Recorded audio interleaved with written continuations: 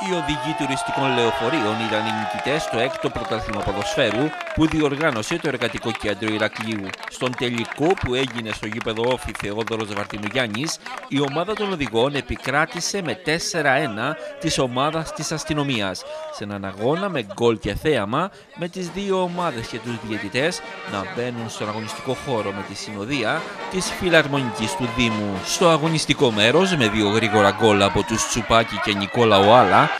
οι οδηγοί προηγήθηκαν 2-0 στον τελικό, ενώ στις αρχές του δεύτερου ημιχρόνου, μετά από ωραία συνεργασία με τον Τσουπάκη, ο Σεραφιμίδη πρόλαβε την έξοδο του τερματοφύλακα και έδωσε προβάδισμα τριών γκολ στην ομάδα του. Αμέσως μετά οι αστυνομικοί μείωσαν 3-1 με κοντινή κεφαλιά του Απλαδά, όμως το τελευταίο γκολ του τελικού ήταν και το πιο όμορφο, όταν μετά από σέντρα του Τσουπάκη, ο Σεραφιμίδη με μονοκόμματο σουτ στην κίνηση διαμόρφωσε το 4-1 και έστεψε οριστικά πρωταθλήτρια την ομάδα των οδηγών.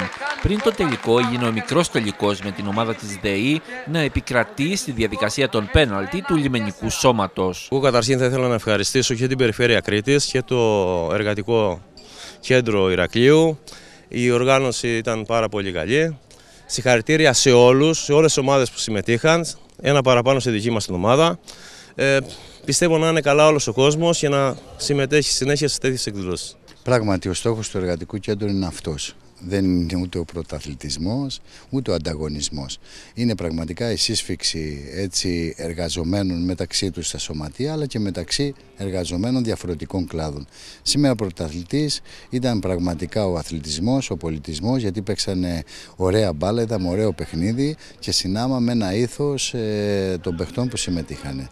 Δίνω συγχαρητήρια σε όλες τις ομάδες που, τους, ε, που συμμετείχαν και οφείλω να δώσω δημόσιο ευχαριστώ ευχαριστώ στην οικογένεια του Όφη που μας φιλοξένησε, στην οικογένεια του Ηροδότου που μας έδωσε το γήπεδο το βοηθητικό για να γίνει η διεξαγωγή, καθώς και το Δήμο Ηρακλείου για την πάντα που διέθεσε. Και εννοείται το μέγα χορηγό που μας βοηθά εδώ και χρόνια, την Περιφέρεια Κρήτης. Μετά το τέλος του τελικού έγιναν οι απονομές τόσο στις πρώτες ομάδες του τουρνουά όσο και στα πρόσωπα που διακρίθηκαν με τους Μαρίνο Σεραφιμίδη των οδηγών και Παναγιώτη Αμανάκη της ΔΕΗ να αναδεικνύονται MVP του πρωταθλήματος, ενώ ο Γιάννης Ζαχαριουτάκη των αστυνομικών τιμήθηκε ως ο πρώτος σκόρερ. Συγκινητική ήταν η στιγμή όταν η πρωταθλήτρια ομάδα των οδηγών τουριστικών λεωφορείων έδωσε μία φανέλα και αφιέρωσε τον τίτλο στο συνάδελφό του Στέλιο Βασιλάκη που αντιμετωπίζει πρόβλημα υγείας. Εδώ ήταν κάτι διαφορετικό. Είμαστε όλοι μια ομάδα, μια παρέα και ήρθε και το αποτέλεσμα.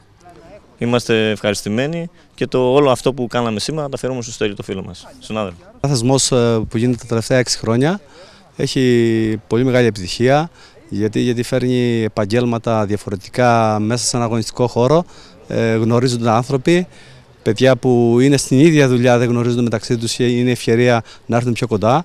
Ε, είναι κάτι καλό, πάρα πολύ καλό αυτό που γίνεται και εύχομαι να έχει και συνέχεια. Συγχαρητήρια σε αυτούς ε, που το έχουν ε, οργανώσει στο Στέλιο το Βοριά ε, και το εργατικό κέντρο. Ακολούθησε η απονομή στους πρωταθλητές οι οποίοι πανηγύρισαν αγκαλιά με την κούπα μέσα στο γήπεδο του Όφη.